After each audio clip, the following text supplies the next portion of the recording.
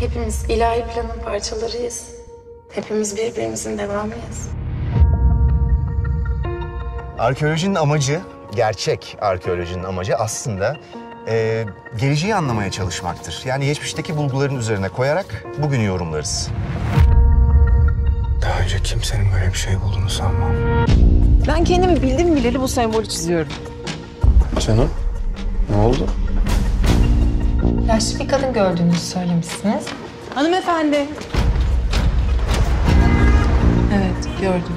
Özel olduğunuzu düşünüyor musunuz Atiye Hanım? Önemli biri olduğunuzu. Her insan inanmak istemez mi özel olduğunu? Atiye sen kimsin sen? Ablan nerede senin? Atiye kafasında seni yapar. Bunu sen de biliyorsun.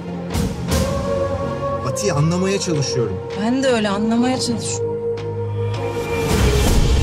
Ne biliyorsan unut kızım tamam mı? İnsan bazen bildikleriyle değil bilmedikleriyle mutlu olur. Hepsinin bir anlamı var, bir anlamı olmalı. Bana deli muamelesi yapma. Eğer bu işin peşini bırakmazsan... Koş! Biz daha çok ceset gömeriz. Her sır açığa çıkmak için çağrısını bekler.